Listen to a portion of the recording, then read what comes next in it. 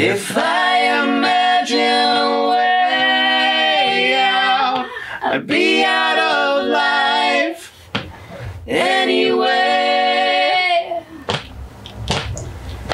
And I can make